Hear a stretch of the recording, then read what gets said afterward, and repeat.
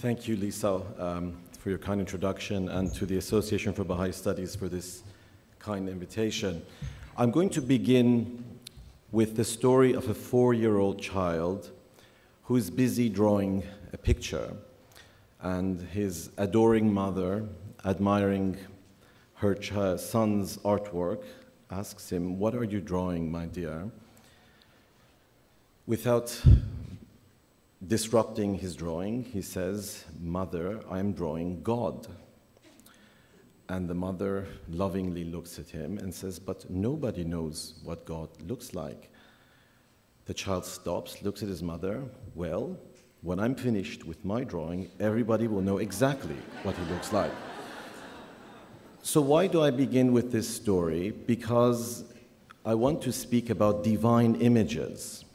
And in order to achieve a better future in a place of darkness, we must first have an image of what it is that we want the future to be. So, from this image of the four year old child drawing this uh, picture, I will now show you another uh, divine image. And that image also is of a four year old child four year old child is by the name of Artin Rahimian. This photograph was taken just over a month ago outside of Tehran on July the 15th.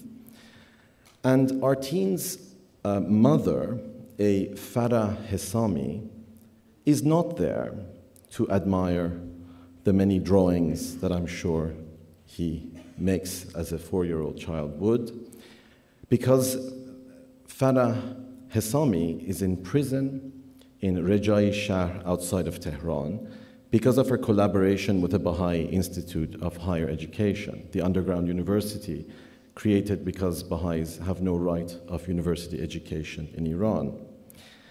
And the man in the photograph is not the father of Artin, Kamran Rahimian, because he also is in Rejai Shahr prison, where he has been for the past two years. Also, for the crime, if you like, of having collaborated with this underground university. Rather, the man in the photograph is a Mohammad Nourizad. And those of you that know something about this man will know why this is a divine image. Mohammad Nourizad was once upon a time I will cue you for the change in the photo. if you could go back to the previous photo, please.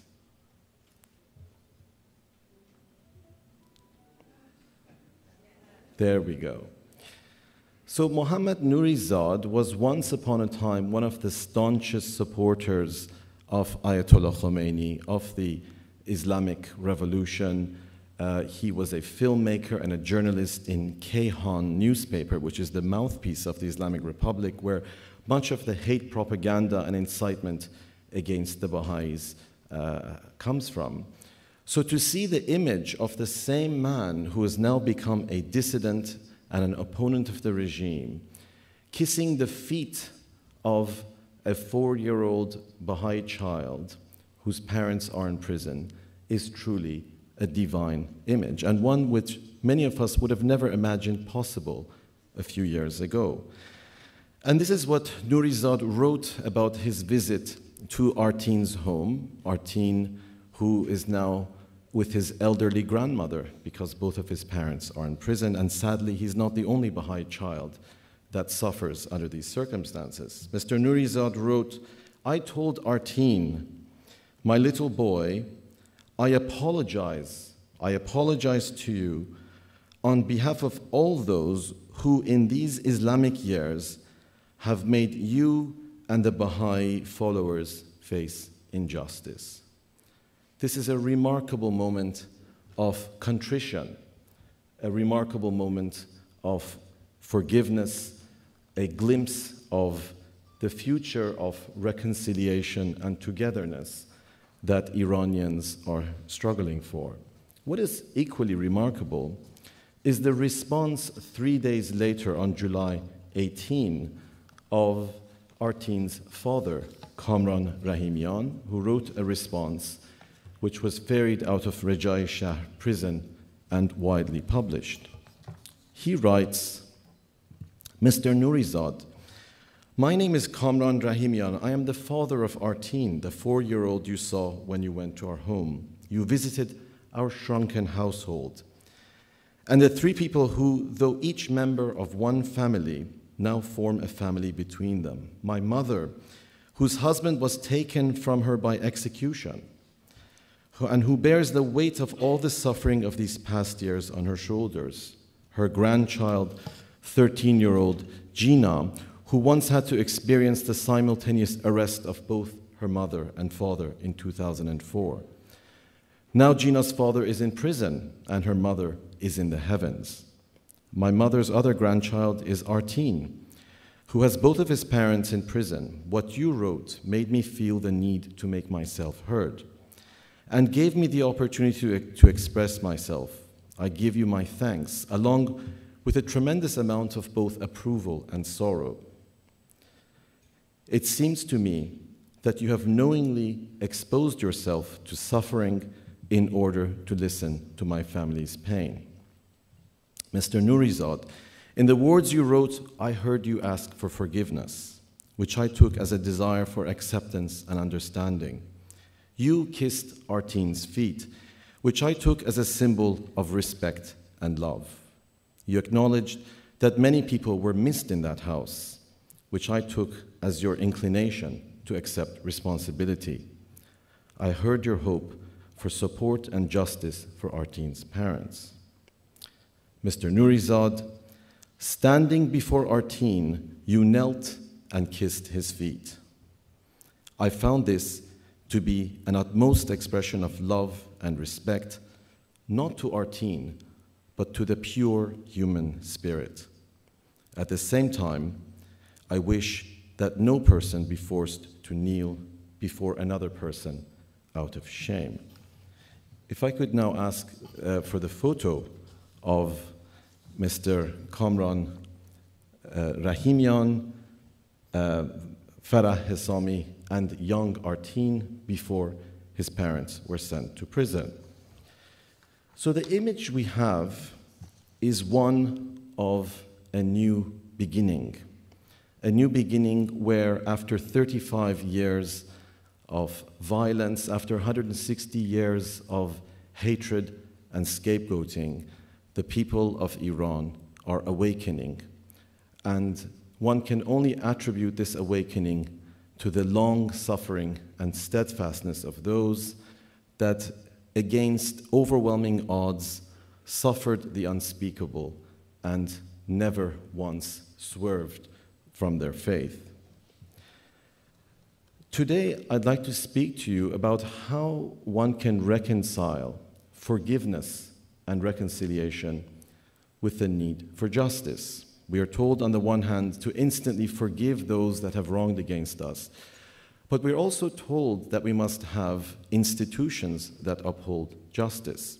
How is it possible to create, out of these terrible circumstances in Iran, a new culture, a culture of human rights, culture of the rule of law, a culture which shuns violence and in which all human beings have their dignity recognized by the law. Some time ago, after the events of 2009 that you will recall uh, was the beginning of the popular uprisings in the Middle East, the so called Green Movement in Iran in 2009. I was speaking at an event, and after the event, a mother came to me. And the mother said, I have lost my child. Now, if one thinks about those words, I have lost my child, one could imagine a mother in a shopping mall somewhere here in Orange County who has lost her child. She wants to go and find him by referring uh, her child to the, I don't know, information, making an announcement, but this mother had truly lost her child. She had picked up his body from a morgue in Tehran after he was tortured to death because he had dared go out into the streets and cry for freedom. So the mother looked at me and said, Well, you're the professor of law, you're the war crimes prosecutor. Certainly, you can do justice for my son. And that was a very humbling moment where all these years of learning and accomplishment and status found themselves empty and wanting because I had to tell that mother that there is no court, there is no tribunal given the current state of international law, given the fact that Iran does not recognize the jurisdiction of the International Criminal Court, that there was no forum where she could bring her grievance. The idea was born at that moment of creating a people's tribunal. Now, this is an interesting phenomenon because we have this idea of courts as formal institutions. There's a defendant in the dock, there's a prosecution, there is a panel of judges that make a ruling, and then the accused, if convicted, is taken to a prison. So that's the image that we have of justice. But how do you achieve justice against the backdrop of thousands and thousands of executions and victims of torture? Hannah Arendt famously wrote after the Nuremberg judgment convicted the Nazi leaders, many of whom were sentenced to death, that the crimes of the Nazis explode the limits of the law. For these crimes, no punishment can be sufficient. So, how can one begin to achieve justice under these circumstances? And in particular, let's consider the first 10 years of the Islamic Revolution. By conservative estimates, some 15 to 20,000 people were executed in that first decade, including the extermination of the Baha'i leadership. By other estimates, including that of Professor Ervand Abrahamian in his book Iran Between Two Revolutions, that number could be as high as 40 to 50,000. Now, these are all statistics, they're numbers 10,000, 20,000, 40, 50,000. But we forget that behind every statistic, behind every number, is a person with a name, with a father, with a mother, a brother, a sister, a schoolmate, a workmate, a whole universe of human relations and emotions. And for every one person whose life was extinguished in prison, for every person that became broken forever as a result of torture, or a person who spent many years of his life in prison, the violence is not simply directed against that person, but it is directed at this circle of social and family relations. So, if one considers the scale of these atrocities, one begins to see that there's a nation, an entire nation that has been deeply traumatized, a nation that has been saturated in hatred and violence. And one sees, perhaps as a therapist would, someone who is suffering from trauma, the need for collective healing. We need to put this entire nation on the therapist's couch and begin to heal these deep wounds in order to ensure that the change that we bring about isn't simply substituting one set of tyrants with an even worse set of tyrants, as happened 35 years ago, but that we are genuinely transforming social values and creating a new culture. In this context, the purpose of justice isn't simply to punish this or that person and put them in prison, but to bring about a profound transformation of values. Digressing momentarily to speak a bit uh, about the notion of habitual lawfulness, which is a sociological description of what legal systems are all about. Legal systems are not so much about courts and judges and prisons as they are about the internalized habitual social values, which make crime, as a sociologist would call, a form of deviance, a deviance from a norm of habitual lawfulness. Now, speaking of lawlessness, I live in Italy at the moment, and we have a city in the south Napoli, you know it as Naples, and some time ago a man went to rob a bank with his motorcycle. He got off his motorcycle, put on his ski mask with his gun. He came out with a bag full of money and noticed that his motorcycle had been stolen. so that will give you a glimpse of the notion of habitual lawfulness. You can imagine this man saying, What kind of country is this that a bank robber cannot do his job properly? But when we look at the culture of violence that you have in Iran, imagine what it's like for an eight year old child to stand in a square and see a public hanging. What does that do to the psyche of that child? What must we do to that society to allow it to heal and to internalize these moral and spiritual values which we speak about? Well, one aspect of that is telling the truth, exposing the people to historical truth, because an essential ingredient of tyranny is hatred, is deception, and we know very well the great lengths to which this regime has gone in order to portray the Baha'is as the source of uh, all sorts of uh, evil uh, conspiracies so, exposing the people to the truth itself is essential to transforming those values. But it's not just exposing people to the truth in terms of a set of objective historical facts, but one must humanize those facts. One must give people an intimate glimpse of what human dignity means.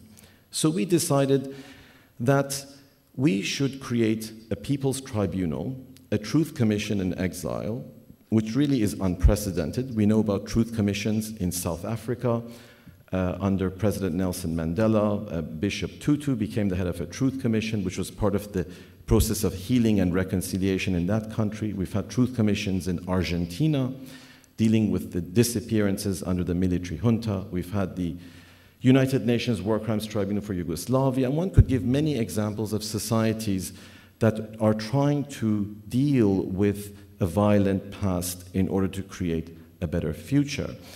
And the point here is really not vengeance, it's not dwelling on the past, but it is reckoning with the past. It's assuming ownership so that these crimes are never again repeated in the future.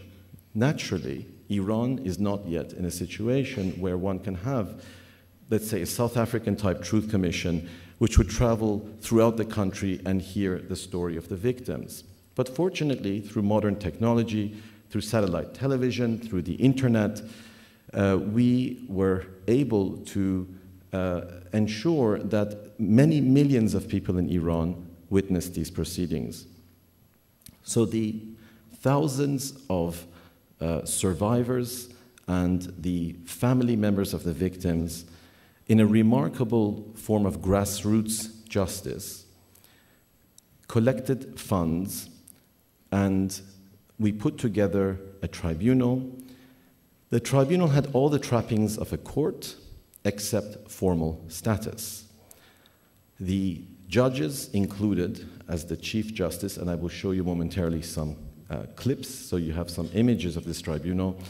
The Chief Judge was um, Justice Kriegler, who was the South African judge appointed by Nelson Mandela as the Chief Justice of the Constitutional Court of South Africa um, after the end of uh, apartheid. Himself a remarkable man, a white Afrikaner who once upon a time was very wedded to the racial ideology of the South African state, who then, in an expression of contrition, turned his back and fought for multiracial democracy. We had judges from Kenya, eminent judge from the United Kingdom. And on the prosecution side, I was joined together with Sir Geoffrey Nice, a very eminent English barrister who you will also see in one of the clips I will show you. And we issued a letter to the Islamic Republic of Iran inviting them to defend themselves. And of course, they declined, which was a very big surprise. And then we proceeded, as you would, with a default judgment. We had 100 witnesses representing a broad cross section of the victim population, focusing on the executions of the 1980s. And these victims, one by one, told harrowing, unbelievable stories in their own voice. And their stories were broadcast by satellite television and by internet to what we estimate would be at least 20 to 25 million people in Iran who are told that the first decade of the Islamic Revolution was a glorious and golden decade, who know nothing of the horrors that were visited on their fellow citizens in these prisons. As a Baha'i who was asked to lead this process, of course, I did not want to appear opportunistic uh, in terms of inviting Baha'i witnesses, but many of the families of the political prisoners insisted that there be a Baha'i witness as well. And as you will see in one of the clips, Miss Ruhi Jahanpur, that many of you know, was the sole survivor of the execution of the Baha'is of Shiraz in 1983, uh, testified, and the story of the persecution of the Baha'is was also broadcast to millions of people in Iran. And what's important is that the persecution of the Baha'is was not somehow isolated from the wider injustices that all Iranians uh, face. And we see from the letter that the Universal House of Justice wrote a remarkable and unprecedentedly audacious letter in 23 June of 2009 after the uprisings in Iran. The House of Justice wrote, you cannot remain aloof and insensitive to the suffering of your people. Clearly, this is a sign that the House of Justice now wants us to join hands with the Iranian people as they try to build a better future. And the fact that the persecution of the Baha'is was now seen not as a Baha'i problem, but as an Iranian problem, I think is highly significant. People are waking up to the fact, including Mr. Nourizad, that hatred and violence is not just an injustice to the victim, to the recipient of that violence, but also to the perpetrator. So, what we are dealing with in exposing these truths, in trying to achieve some measure of justice, is not merely to reclaim the humanity of the victim, but strangely enough, also to reclaim the humanity of the torturer, the humanity of the hate monger.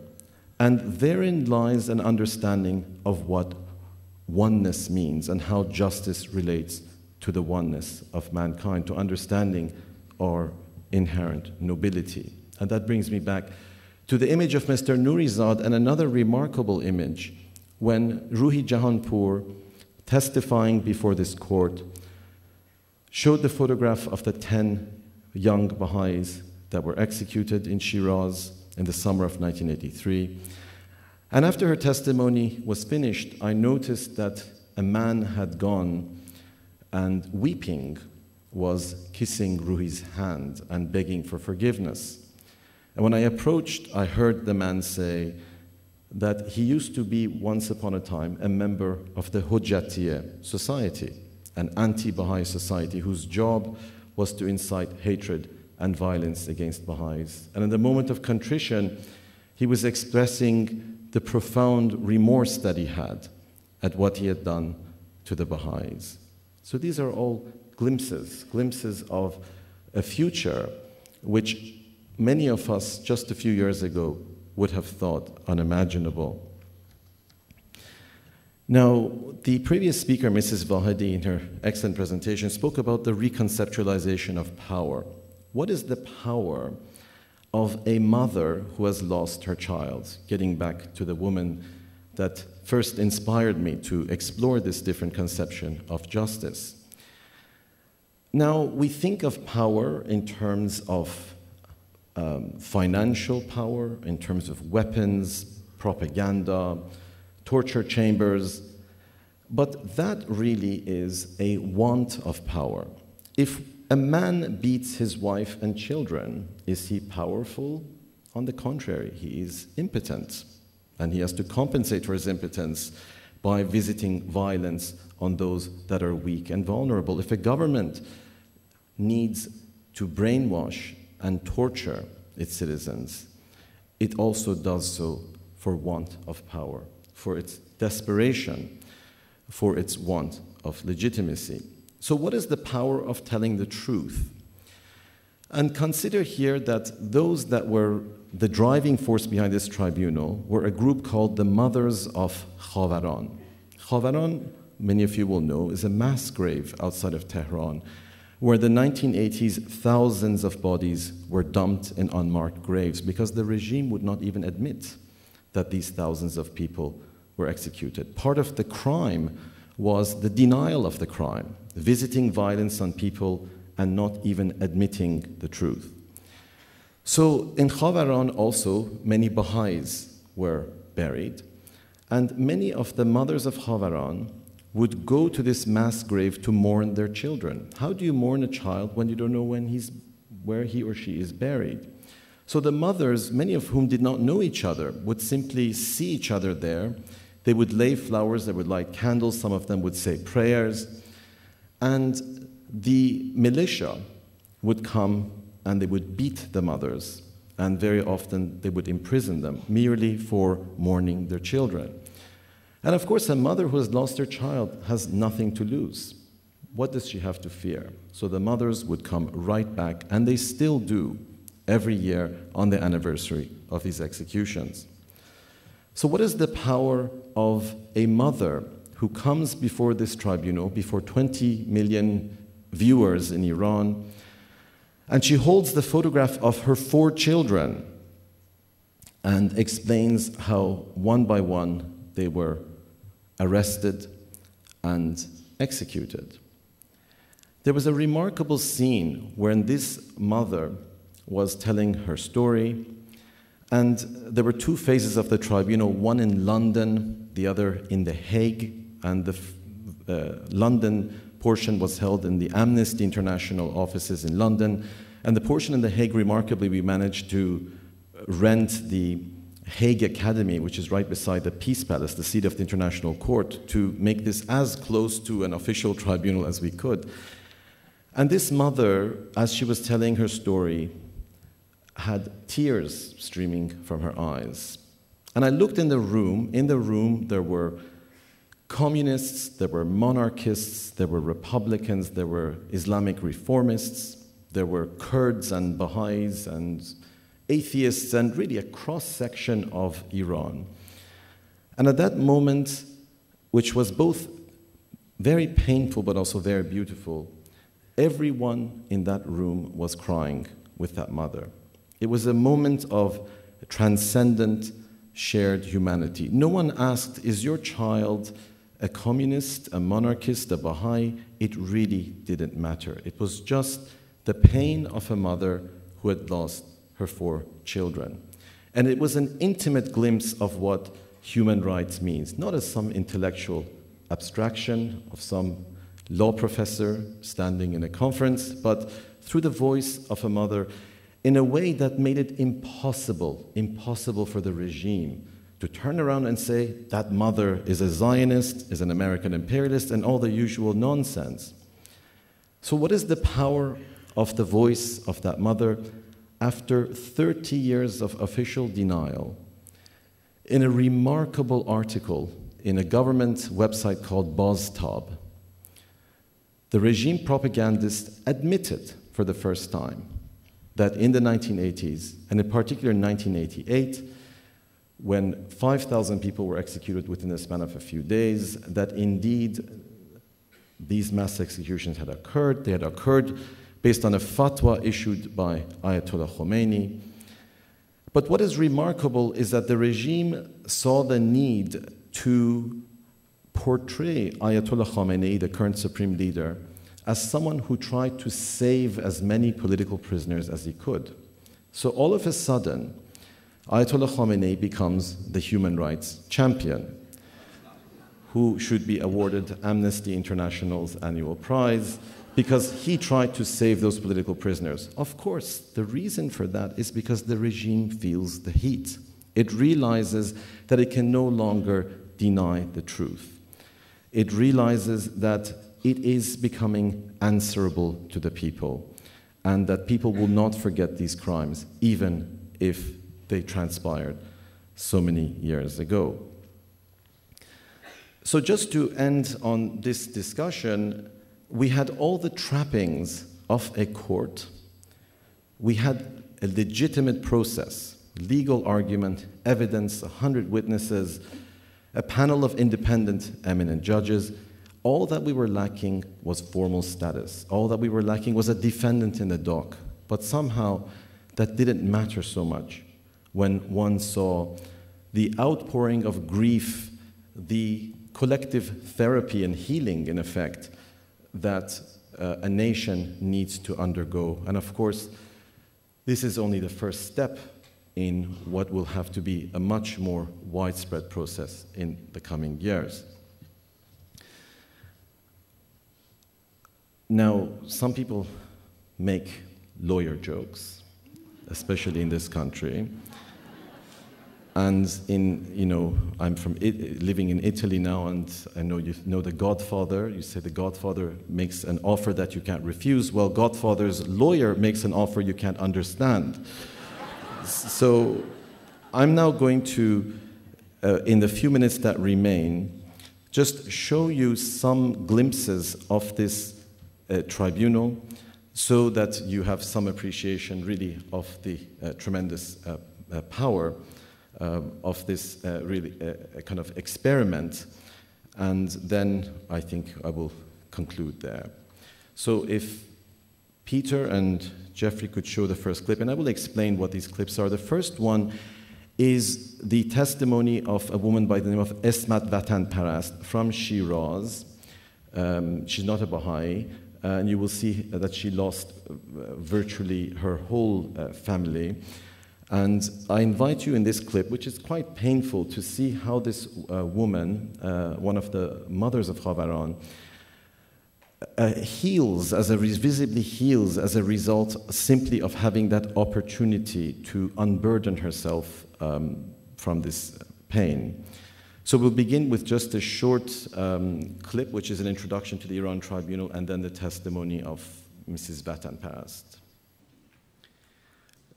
So we're just fast forwarding to the testimony of Mrs. Vatan Parast, but many of the people would come and they would have t shirts with the photograph of their loved ones, or they would have uh, photographs that they would put on the table. And you saw that outside the room there was a table where people had all sorts of objects that were memories of their loved ones uh, children's clothing, drawings. So it was quite a remarkable place to be. And many of these people really did not know each other, and this was an opportunity for them to create a, a community and to um, bereave together. So I think we're just trying to fast forward to the clip of Mrs. Vatan Parast now. So there you hear it not from my words, but from the words of Mrs. Vatan Parast, who's one among thousands of mothers who has had to suffer really the insufferable. And it is remarkable um, to see the transformation of someone who, after years of having this eating away at them every day, has an opportunity for a sort of a catharsis. And one can imagine how this process will have to be expanded um, in a future democratic Iran where this process which has been initiated, if you like, can be repatriated. The next clip um, is of Ruhi Jahanpur. Unfortunately, there's no English subtitles. I've chosen the part of her testimony where she answers questions to the judges in English. Um, and you may find it a bit difficult to hear the English over the Persian, but I thought I would just share with you just three, four minutes of her uh, testimony. Um, and as I said, uh, this was uh, her testimony about what befell the uh, Baha'is of Shiraz in 1983, including um, Mona Mahmoud Nejad. And it was remarkable to see how capably Ruhi spoke about this incredibly painful experience with remarkable uh, dignity and serenity, and how touched people were not to hear about some abstract discussion of Baha'is are persecuted, but through the story of a husband and wife who said goodbye to each other uh, for the last time, and, and the impact which that has had on public consciousness uh, in Iran. So, if we could now start with uh, Ruhi Jahanpur's testimony. I apologize if you couldn't really hear what she was saying. Uh, I couldn't find anything with the English subtitles, but just in case you didn't hear, uh, Ruhi, of course, gave uh, very moving testimony of what happened in the prisons in Shiraz. But she explained that when she was brought before one of the Islamic magistrates, he had said that uh, uh, one, one of the people had said, Why don't you just kill us all uh, if you want to get rid of the Baha'is? And he had said, No, we need to kill you one by one because if we kill you all at once, the world will um, there would be an outcry. There would be an outcry in the world. And she was explaining how important it was for the world to shine a light on the persecutions and how much worse it would have been if the uh, uh world had not uh, spoken out. And when she was saying this, of course, the fact that she was the sole survivor made what she was saying that much more powerful. And, and her sense of responsibility as the lone survivor of that incident to tell the story uh, of these people. Now, very quickly, just to end, um, we're going to see a little clip of uh, Sir Geoffrey Nice, a very prominent British barrister, Queen's Counsel, um, who was my colleague at the UN Tribunal in The Hague. He was the famous prosecutor of the Milosevic case, who kindly agreed to come. And it's wonderful to see an English barrister moved to tears. It doesn't happen often. So let's see just a short glimpse of Sir Geoffrey. That is Sir Geoffrey, one of the very eminent uh, English barristers, in the summation of the case. In the um, final two minutes, there is um, a glimpse of when the judges um, came to deliver the judgment, and you will see a little clip of Justice Kriegler, who, as I explained, was the Chief Justice of the African, South African Constitutional Court appointed by uh, Nelson Mandela. Um, and after that, we will see a small clip of the effect which the delivery of that judgment had on the families of the victims and survivors. So, so that is Justice Kriegler of South Africa, and that just gives you a sense about the credibility of the process, that there were judges who would not lightly write a judgment without sufficient evidence, without proper argumentation. The final clip is just a final glimpse of the relief of the families um, that this judgment had been rendered and finally that their voices had been heard. If we could have this last clip. Okay, so I'm very sorry I've gone a bit over the time, but I, I hope that this has given you some glimpse, if you like, of what the future may hold in store. That maybe one day, we're going back to the four year old child, perhaps Artin, drawing an image of what the future may look when his parents are released from Rajai Shahr prison and the family reunited, of a day when there will be a Truth and Reconciliation Commission that will travel throughout the cities of Iran where thousands of people can unburden themselves of these wounds that they have held for so long, where torture victims and former torturers can embrace in a culture of forgiveness and uh, justice when people will finally be exposed to the historical truth and understand that uh, human dignity is the only basis for building a better future. I will just end by reading briefly from the message of the House of Justice, once again, that was written on 23 June 2009, where they say to the Baha'is of Iran, keep alive in your hearts the feeling of confidence that the future of Iran holds bright promise, the certitude that the light of knowledge will inevitably dispel the clouds of ignorance, the conviction that concern for justice will protect the nation from falling prey to calumny and the belief that love will ultimately conquer hatred and enmity. You have demonstrated in the example of your lives that the proper response to oppression is neither to succumb in resignation nor to take on the characteristics of the oppressor. The victim of oppression can transcend it through an inner strength that shields the soul from bitterness and hatred and which sustains consistent principled action. May the words of Abdul Baha resound Iran shall become a focal center of divine splendors. Her darksome soil will become luminous, and her land, land will shine resplendent. So let us imagine a day when the president of Iran is a woman who today is a political prisoner and torture victim. Let us imagine this woman going with a bundle of flowers to the mass grave site in Khavaran and begging the mothers for forgiveness. Let us imagine the day when Evin prison, where thousands have been tortured, will become Evin Museum, and school children will go and read the story of the victims. Let us imagine the day when we can go to pilgrimage to the reconstructed house of the Bab in Shiraz, and where the Association for Baha'i Studies can hold its annual meeting in Tehran. Thank you so much.